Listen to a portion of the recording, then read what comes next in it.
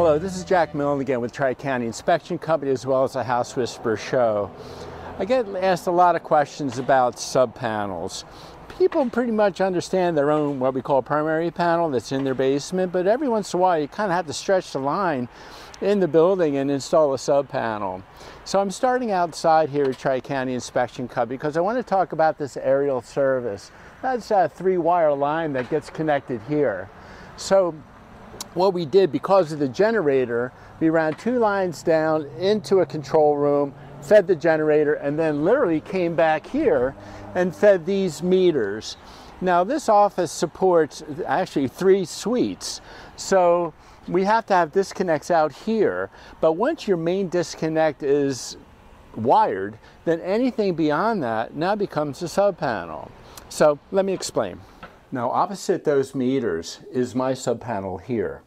Um, excuse the mess. It's a very tight closet, but anyway, um, let me let me spend a minute on this. This is an approval sticker.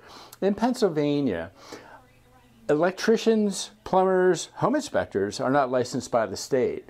So the electricians and plumbers are licensed by the, the municipalities of which they serve. So in New Jersey, I'm a licensed home inspector, and the plumbers and the electricians are licensed as well. So Pennsylvania requires one of these green stickers, which is an underwriter sticker. And what that means is that another party had to come in to approve the work. So any of these Pennsylvania residents that are listening or watching, um, if you're having any new electrical work done, make sure that it's approved. Now, in my sub panel, my main disconnect is rated for 100 amps. Now, when, when I renovated this building, what happened is we had to run another line to, to my office to support general lighting, my um, my mini split and other electrical needs.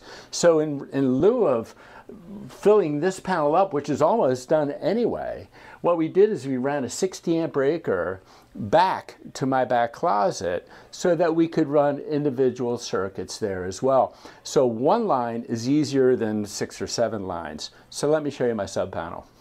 Now the biggest difference between a primary panel and a sub panel is that the wires, the bare wires here, have to be separated from the white wires.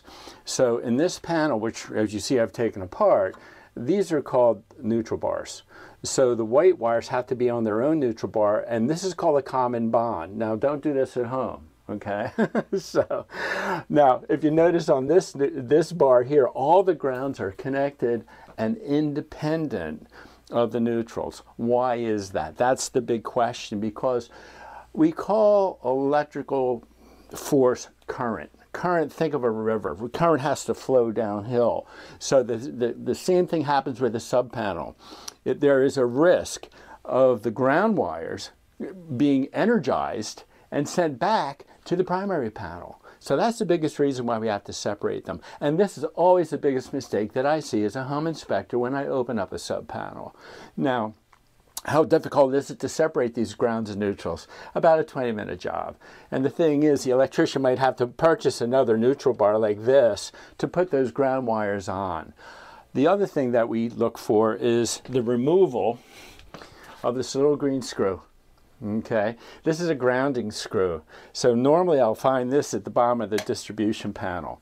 So Wire sizes and breaker sizes always have to be compatible. The other thing I look for all the time is to make sure that all my wires are protected as it comes through the top or sides or bottom of the panel. The other thing I find ironically are mice feces. And mice feces are caused, of course, by mice entering the box via holes or missing connectors. So, of course, uh, you know, we, we do flag that as a home inspection company.